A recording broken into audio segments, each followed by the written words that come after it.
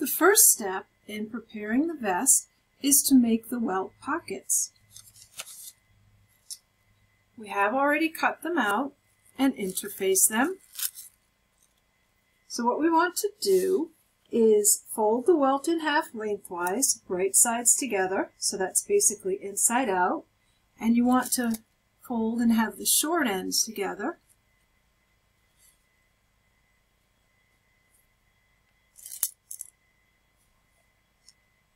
Like so. Like that.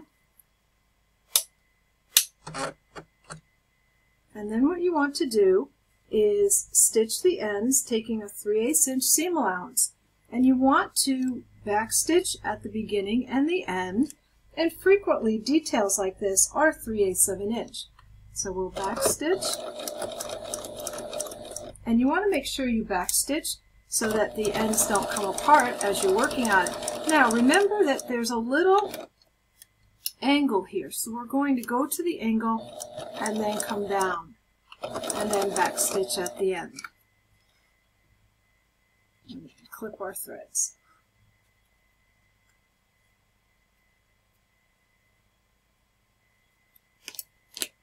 And we'll do the other side exactly the same way. 3 eighths of an inch, back stitch, come forward, take your pins out, stop with your needle in, pivot, back stitch, and clip your threads. Okay, so both sides have been stitched and you can see the little angle there.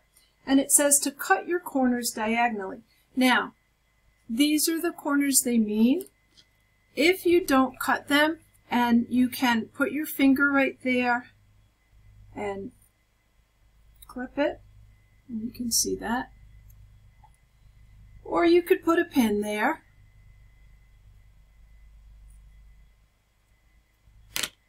Throw those little scraps out too. So we've clipped both corners. And then what you want to do is turn it right side out like so. And a handy tool for that is using a point turner. And that helps you to push out those corners. Just be careful that you don't poke out the corner while you're doing that.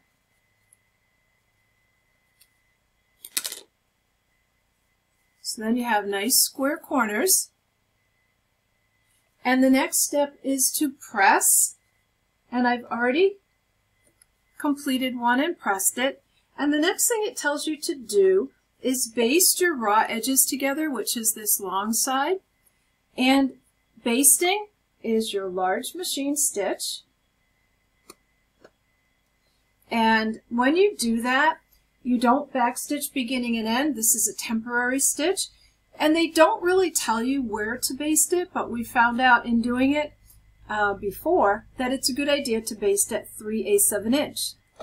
So I'm going to do a basting stitch, and this will be a guide for when we are putting the, ve the vest pocket on.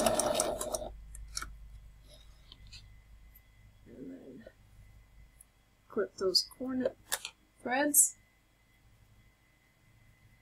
And I have basted across right there, and that will be a guide for us as we're putting this on. So that's the first step to get that ready. We will attach it in the next video.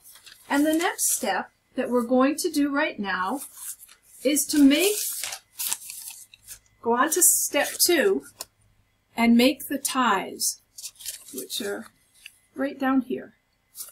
Okay, so the ties do not need to be interfaced. And when you make the ties, you fold the tie in half and you have a notch there. And we're going to pin that together quickly. And when you have a long piece of fabric, sometimes it's good to do each end so that you don't push it apart. Match your edges like I'm doing right here. Put your pins in. And one more pin.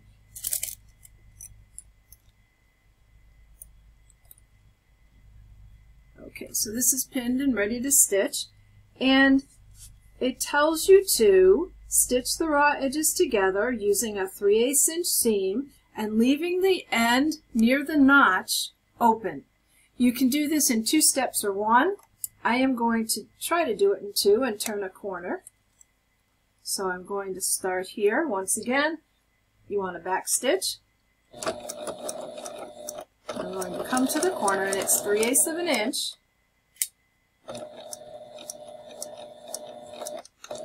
Leave the needle in, press your foot down.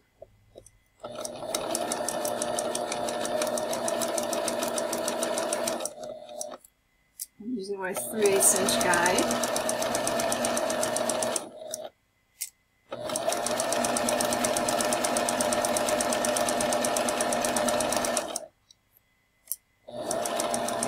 and I leave the bottom edge open but I want to remember to backstitch before I stop and clip my threads.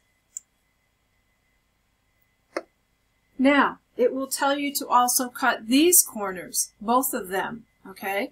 Because we're going to turn this inside out and we don't want that bulkiness. So we're going to turn, clip both of them.